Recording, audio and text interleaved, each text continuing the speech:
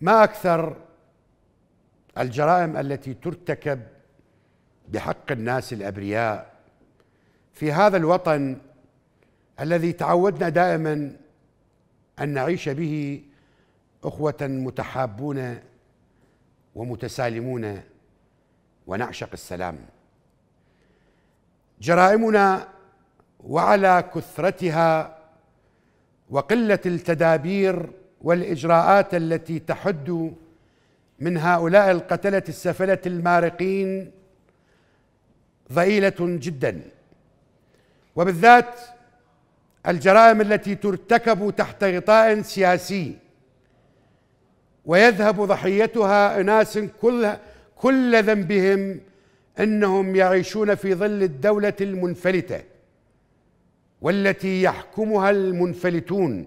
الخارجون عن اللا دوله ويضغطون بكل الاتجاهات من أجل تمرير ما يعتقدون به.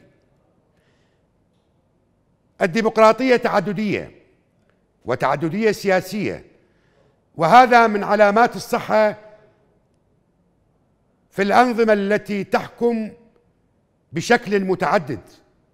أما أن تختلف وتنشطر وتتشظى بهذا الشكل هذا أمر لم يألفه أحد في مكان آخر من الأرض. ما البيانات التي تقرأها شكل والواقع يقول شكل آخر. هذا الذي حصل اليوم عائلة سبعة أفراد قاعدين ببيتهم يوقع عليهم صاروخ. أنا أسأل من رئيس الحكومة إلى كل رئيس أو تحت عنوان رئيس بالدولة العراقية إلى كل التنظيمات وإلى كل الفصائل. هل فعلا سيقيد الأمر ضد مجهول؟ هل فعلا الأجهزة الأمنية والاستخباراتية والمعلوماتية وعلى كثرتها هي فعلا ما تعرف من الذي أطلق الصواريخ؟ عندك مشكلة مع الأمريكان عندك مشكلة مع الحكومة. زين شنو ذنب العوائل والناس الأبرياء؟ المفروض الدولة اليوم ما ينام بها من الشرطي إلى القائد العام حتى تظهر النتائج الحقيقية للقتلة. والقتلة أنا الآن أقولها معروفين ويندلوهم ويعرفوهم واحد واحد. لكن عندما يصل الأمر بهذه السياسات أن تجامل على حساب دم الأبرياء فيا ويلك من عقاب الله ويا ويلك من عقاب الشعب. لأنه ما يصير هذا الذي يحصل من استهتار وسلاح منفلت البيانات لا تقبل الدولة لا تقبل الحشد لا يقبل الأمن لا يقبل هل الكتال شنو قاعد بالقبر؟ لو قاعد بالمريخ يطلع يطلق الكوتيوشه ما افتهمنا.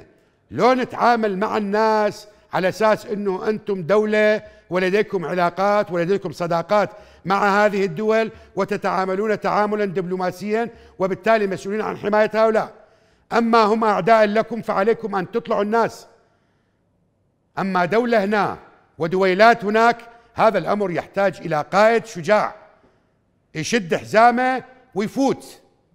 الله وياك مرجعية وياك الشعب وياك السماء وياك الأرض وياك الأبرياء وياك الضحايا وياك المغيبين وياك.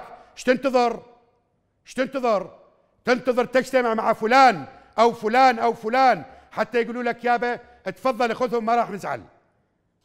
اللي ما يزعل على دم العراقيين ما يصلح يصير حاكم.